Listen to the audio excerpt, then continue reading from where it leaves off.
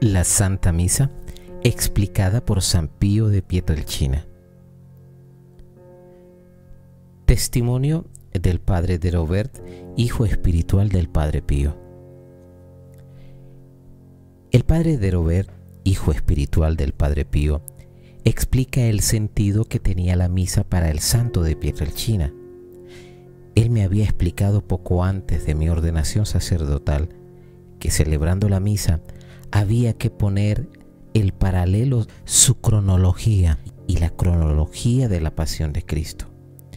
Se trataba de comprender y de darse cuenta en primer lugar de que el sacerdote en el altar es Jesucristo.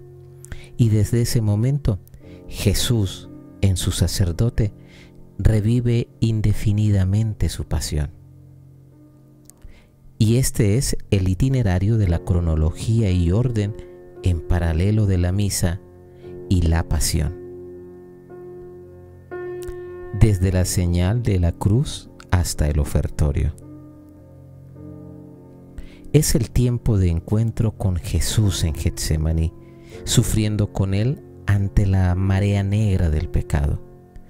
Unirse a Él en el dolor de ver que la palabra del Padre que Él había venido a traernos no sería recibida o sería recibida muy mal por los hombres.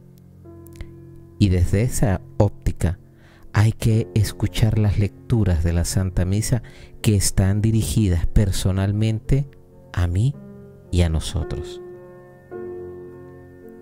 El ofertorio evoca el arresto de Jesús. La hora ha llegado. El prefacio es el canto de alabanza, entrega y agradecimiento que Jesús dirige al Padre que le ha permitido llegar a esta hora. Desde el comienzo de la plegaria eucarística hasta la consagración. Empezamos encontrándonos con Jesús en prisión para después hacer memoria y celebración de su atroz flagelación y coronación de espinas. Seguimos con su Via Crucis el camino de la cruz por las callejuelas de Jerusalén, imagen de todo el mundo y de toda la humanidad, teniendo presentes en el momento a los que están allí en la misa y a todos. La consagración.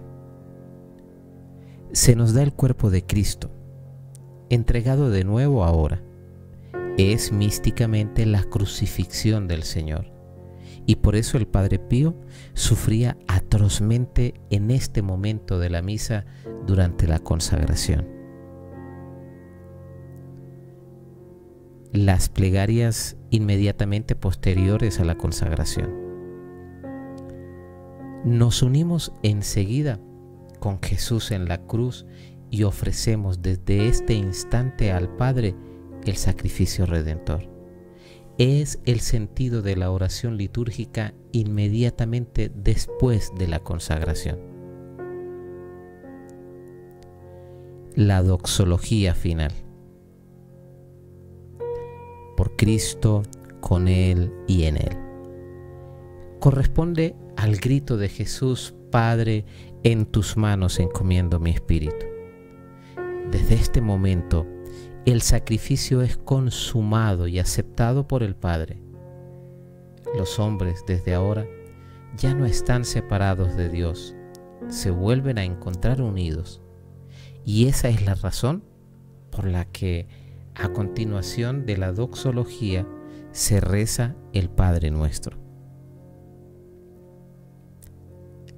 La fracción del pan marca la muerte de Jesucristo.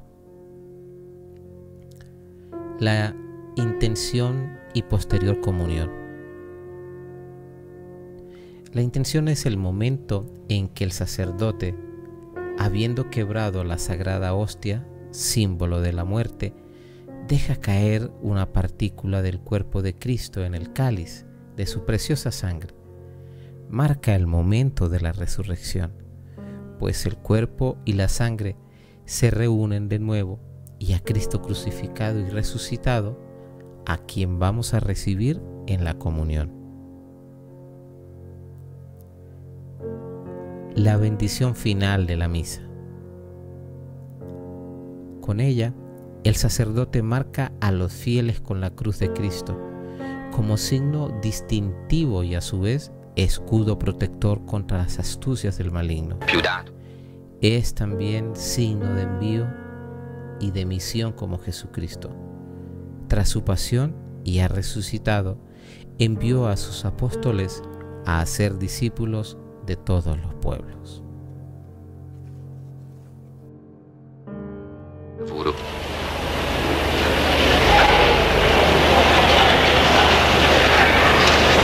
istekler sürünürdü demeli. Evet, aynı gibi az önce İstanbul'da bir Evet. Tamam. Damenes vabis koma Arayınız Tegremeyli gözümüzü damin eder Nasir İlyisi nabızı bilmene neyverin Agay megoladın züvati veriye Önce çiyanı üstü kılardır رئيس البعث فرد بن مناش ياس مجلس في لمدهم في تاقمي درجة إن إذا نفتين دسان دينيوس برامن يستيقنا سيقنا عالمه ربنا سوى بيشكما Benedict Abbas. Benedict Abbas. بريك لن تدعي بعد الدين تسبيل الشام جسد